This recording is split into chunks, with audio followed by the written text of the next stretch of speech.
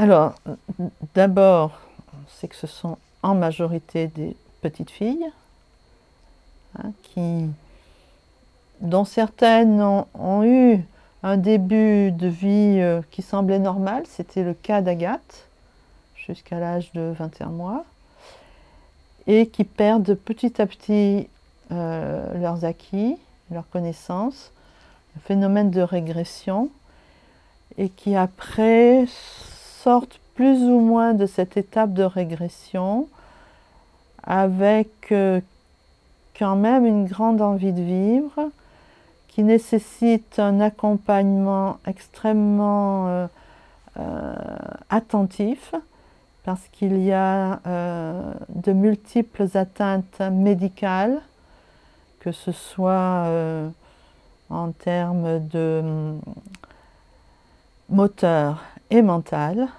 Hein, il y a de multiples atteintes. Bien sûr, il y a le problème du, non-verbal. Elles ne, sont, elles ne sont pas verbales, ce qui ne veut pas dire pour autant qu'elles ne communiquent pas. Euh, c'est une communication à laquelle il faut être très attentif. Elle, alors, Agathe marchait très très très bien, courait beaucoup, mais petit à petit, euh, euh, il y a quand même beaucoup plus de spasticité, moins de...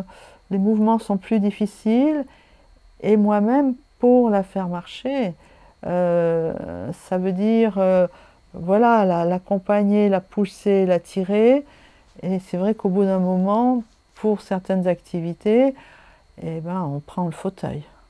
On prend le fauteuil parce que c'est voilà, si on veut aller dans un musée, si on veut aller euh, n'importe où, on prend le fauteuil, alors que jusqu'à il y a 4 ans, jusqu'à l'âge de ses 20 ans, on ne prenait pas le fauteuil. Je n'ai acheté un fauteuil qu'en 2016, à son entrée dans l'établissement adulte.